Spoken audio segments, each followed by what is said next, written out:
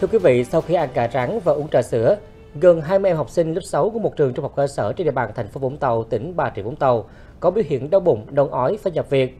Bệnh viện Vũng Tàu cho biết các bác sĩ đang theo dõi điều trị cho các em. Theo Bệnh viện Vũng Tàu, đến trưa nay, sau khi cấp cứu và thăm khám, nhiều trường hợp đã dần phục hồi và được cho xuất viện. Một số khác đang phải tiếp tục theo dõi. Theo thông tin ban đầu, vào sáng nay, các em học sinh trên ăn gà rán và trà sữa được một phụ huynh đại diện hội cha mẹ học sinh mang tới để làm tiệc liên hoan cuối năm.